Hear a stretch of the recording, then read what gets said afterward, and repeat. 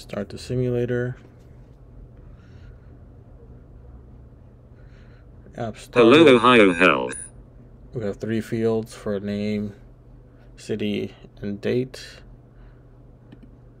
Click the first button. John Smith. The second button is for city. Um, Miami, Florida. The last one is for the date. October 25th, 2021.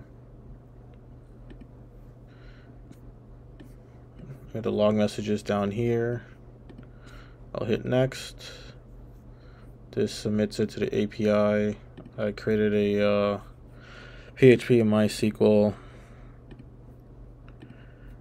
Basically, I'm sending a post request with a JSON body with name, city, date that inserts it into my table. Here's my table. Here's the data I just submitted. Go to the second view, hit retrieve.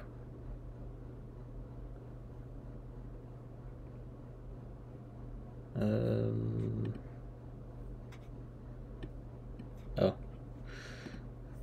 I need to change.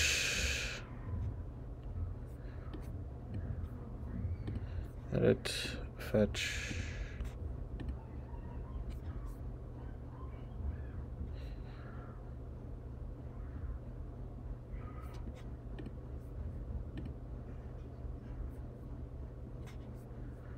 That. I just need the single row just for testing all right hit retrieve returns back the data uh, translate. Miami, Florida. And it says what city is.